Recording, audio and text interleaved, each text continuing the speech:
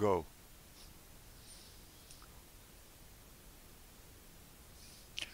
Uh, naar de vorige aflevering, uh, waar we het hadden over de MH17. Tenminste, we hebben dat een klein beetje aangeraakt. Gaan we het nu hebben over een, veel zware onderwerp, namelijk de antichrist. Wie is het en waarom is hij het? Uh, Perry, wat vind jij ervan? Hij is... Hij is... De antichrist. Ja. En al heel erg lang. Dus, uh, dus de, de antichrist is eigenlijk, er eigenlijk al net zo lang als de christ. Ja. Uh, hij is voorspeld in het boek van de wet en de profeten.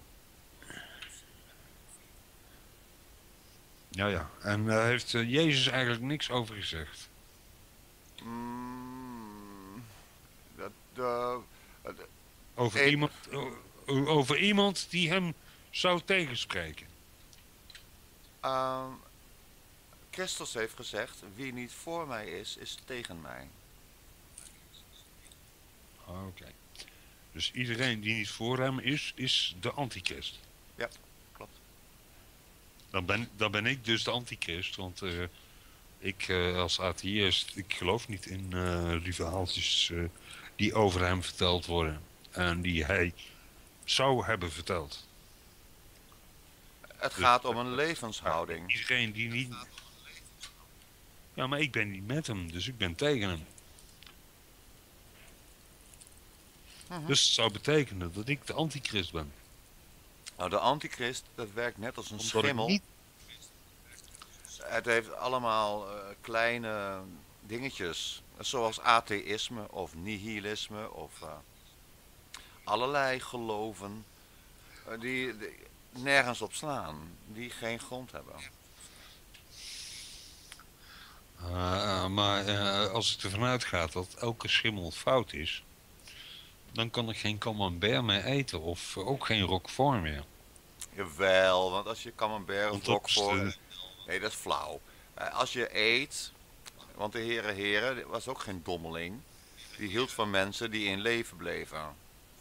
De- je hebt een, een spijsverteringssysteem. Dat werkt eerst met je speeksel. Dan kan je van bruine bodem kan je zoetigheid maken. Van zetmeel kan je suiker maken. Goed kouwen altijd heel. Dan kun je van water wijn maken. Eh, eh, nee, nee, nee, nee, nee. Ja, dat zou mooi zijn. Dat, dat zou ik ook wel leuk vinden, dat ik dat zou kunnen zeggen. Ja. Ja. Ja, dat zou ik echt wel willen. Maar goed, het- daarna, dan, komt altijd, tenminste- dat eh, eten, dat komt gewoon in je maag. En daar heb je een pH van 3 ongeveer. Eh, à la citroenzuur, maar dan iets zuurder, dacht ik. Hè? Moet je maar een keer kotsen. Je- Ja, je, moet een er keer te veel gaan drinken. Maar als je heel veel drinkt, dan daalt de pH-waarde weer van je maag. En misschien dat je daarom wel moet kotsen. Nee, dan stijgt de pH-waarde. En dan Maar, krijg ik het maag... maar je maag is heel Kijk, zuur. En daar krijg ik het maagzuur van. Ja, de maagzuur is normaal. Zo is dat verzonnen.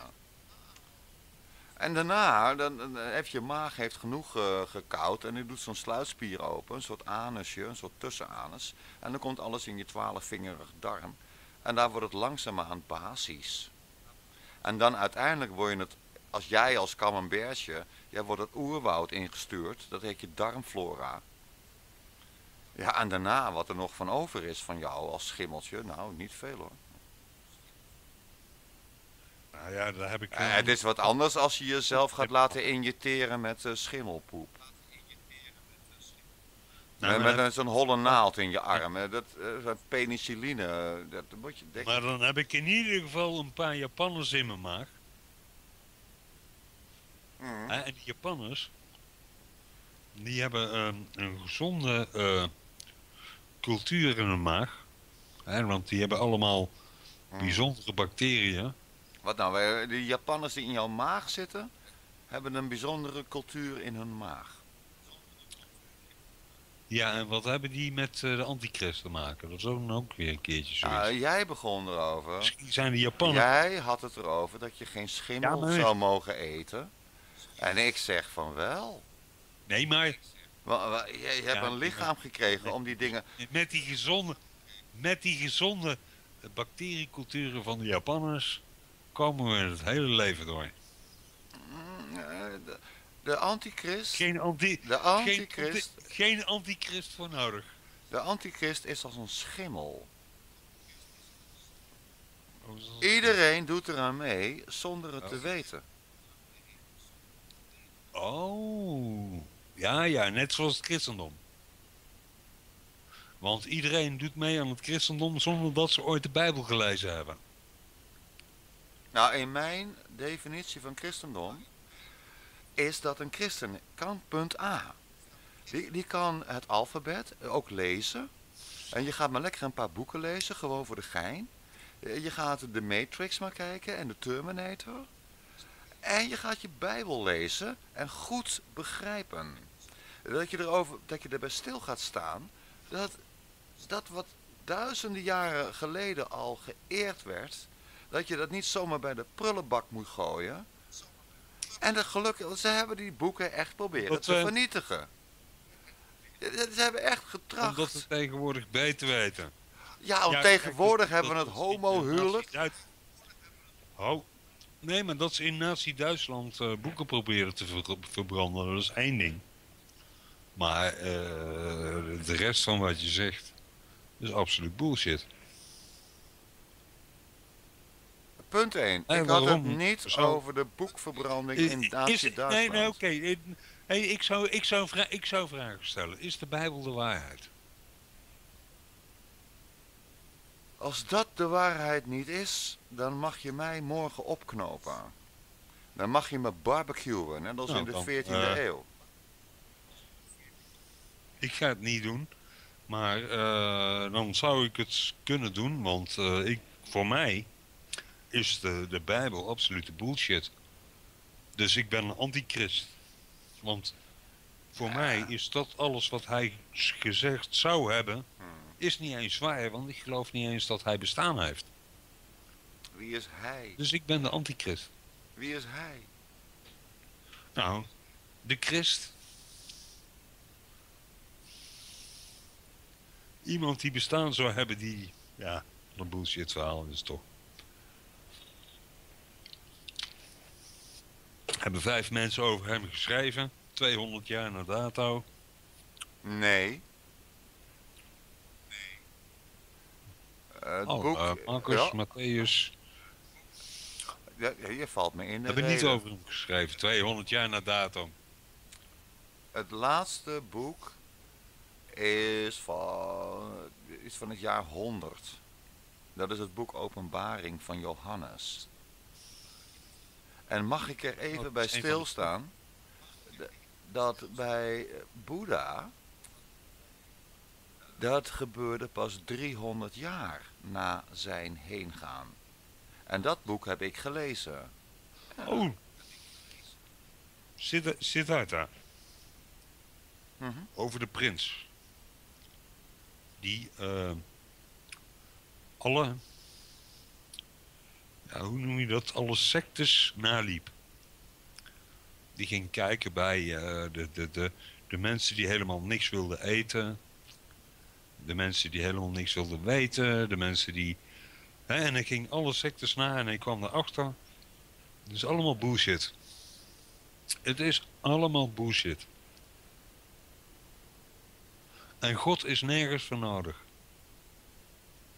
Daar kwam die achter. Nee, je mag in God geloven als je dat wil. Dat is nergens voor nodig. Daar kwam hij achter. En daardoor werd hij verlicht. Dus misschien bestond de antichrist al voordat de christ bestond. Oh, die eh, logische die connectie snap van- ik niet. Die mag je even toelichten. Nou, nou de, de, de Christus, ja, die eh, stelde een relatie voor tussen God en de mens. Hij stelde een relatie voor van, weet je, stel je voor dat God je vader is.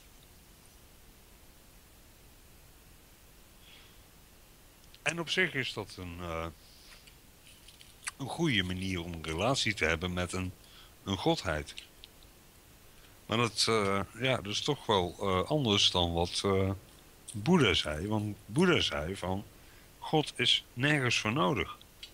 Dus je hoeft geen relatie te hebben met God. Ook niet die van vader of zoon.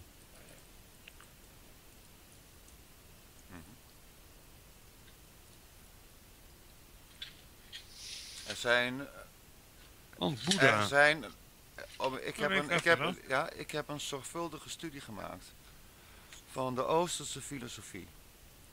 En die, heb ik, die, die kennis heb ik vergeleken met wat ik geleerd had al uit het Nieuwe Testament. Met name. Maar ook in het Oude Testament, als je dat boek goed leest, zie je, dat het, zie je hetzelfde.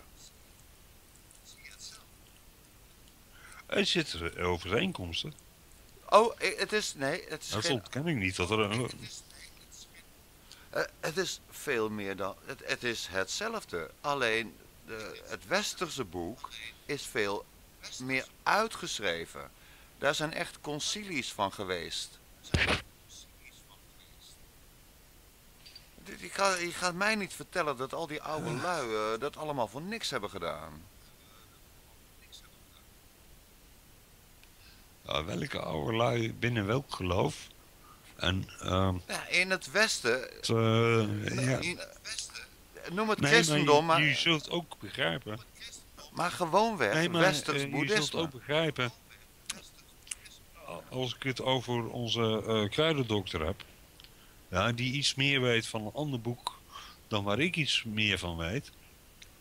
Die zal ook zeggen van ja, maar zo staat het in dit boek.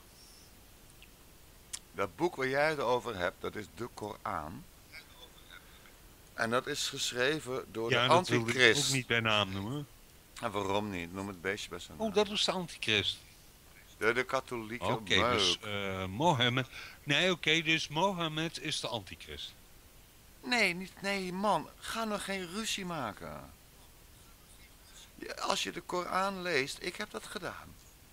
De, ik heb hem geannoteerd. Dat was in de bibliotheek hier in Arnhem. Dat boek is er inmiddels natuurlijk verwijderd. Maar dan kan je gewoon de, de esoterie zien van dat boek. De, iedere pagina van de Koran, Oh. elk vers moet je helemaal uitpulken voordat dat tot je spreekt. Ja, net zoals in de Ban van de Ring moet je ook elk vers eh, uitlezen. Ja, ja. Voordat je er iets van begrijpt. En eh, sterker nog, als je de film gezien hebt, dan heb je het boek nog niet gelezen. En ik kan je vertellen dat eh, de Koran is geschreven in een tiental jaren. En de Bijbel, dat begint met Genesis 1 en het eindigt met het boek Openbaring. Dus ongeveer aan het einde van de eerste eeuw waren we uitgeschreven. Pak een beet. Aan het einde van de tweede eeuw, denk ik. Ja, wat eraan toegevoegd is, want ze hebben dat concilie gehouden in 325, 324. Ja, nee, precies. Dat is, het, dat, dat is dus precies het punt waar dus de Bijbel is vastgelegd. En dat heeft vooral ook te maken met van, oh, eh, er waren de noordelijke eh, stammen, die hadden een, een bepaalde theorie dat Jezus was wel de zoon van God, maar hij was niet God. Hij was een, een mindere God dan God. En dat vond het, eh, de keizer niet goed. Want die zei van nee, nee, nee, nee, het is anders. De zoon van God is ook God. En zo is de, Hmm. hoe de drie-eenheid ontstaan. Dat is een begin van de En antichrist. dat vond die keizer goed. Want eh, de, de drie eenheid, ik ga maar stotteren. De, de, daar is een ongelofelijke ruzie over geweest bij het concilie van Nicea. Het concilie van Nicea Ja, is georganiseerd door de Romeinen van die tijd. Dat staat vast. Nou, nou, door de keizer van die tijd. Constantijn. Keizer Constantijn Eh, Oké, en broer keizer Eusebius. Constantijn was geen Romein. met zijn broer Eusebius, hè? Met zijn Wat? broer Eusebius. Ja, mooi zo. De, de- die, die, Nou, Eusebius, die, fijne eh, gebouw wat hiernaast staat. De Erlemse Eusebius, hè? Ja, precies. De Erlemse Eusebius.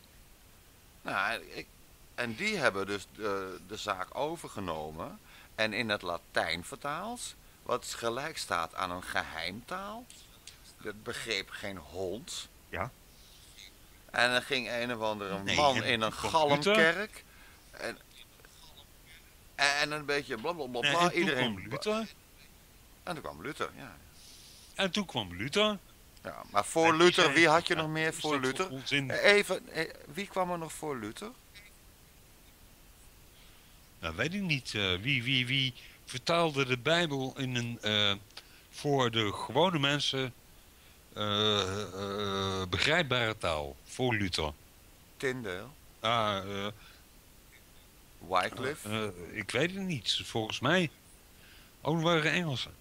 Eh, eh, Maar die Erasmus hadden dan.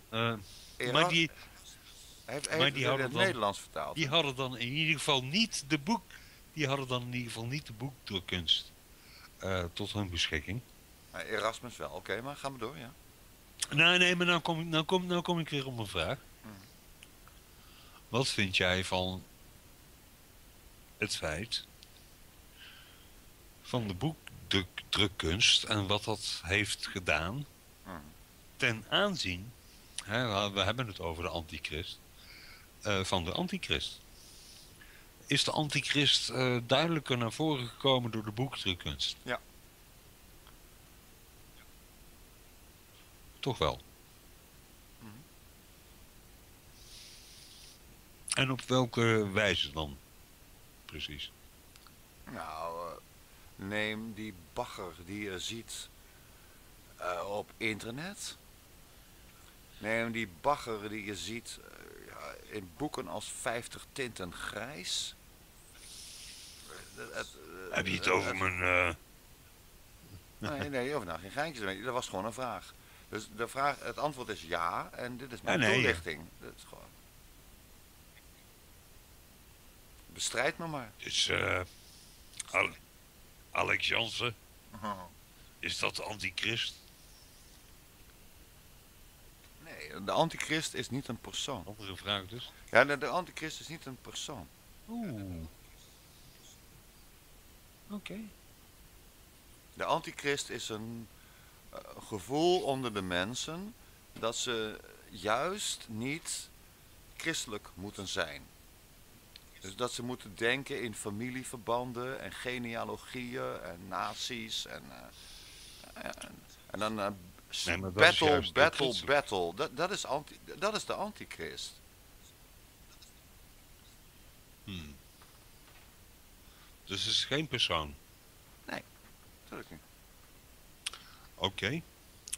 Maar dan gaan we naar, eh, naar nummer F, volgens mij. Nee, E. Want is dan het communisme?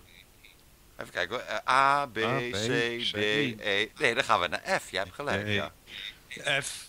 Nee, je hebt gelijk. Dan gaan we, dan gaan we naar het communisme. Is dat de antichrist dan? Daar gaan we het even over hebben. Ja, oké. Maar maak even je afsluiting. Maak me weer een vrolijke afsluiting. Ja, dan doe ik het ook. Nou ja, dan hebben we weer een aflevering eh, afgerond. Eh, eh, 130 E hebben we afgerond. Eh, ik bedoel, we zijn nog bij 136 eigenlijk, maar oké, we noemen het 130F. Eh, dat is de volgende. Het is, het is dit weten jullie helemaal niet. Maar wij houden een, eh, een, een lijst bij. Daar zetten we streepjes op. En iedere keer als de ene om de ander moet lachen, dan kost dat 0,1 biertje. En mij, Marco heeft Oké, mij lachen gekleren. Hé hey Marco. Hey, op zijn hamburgers, hè. Tjus. Nou, dat kost je weer. Dat kost je weer een tiende biertje. Ja, precies. en dag lievers.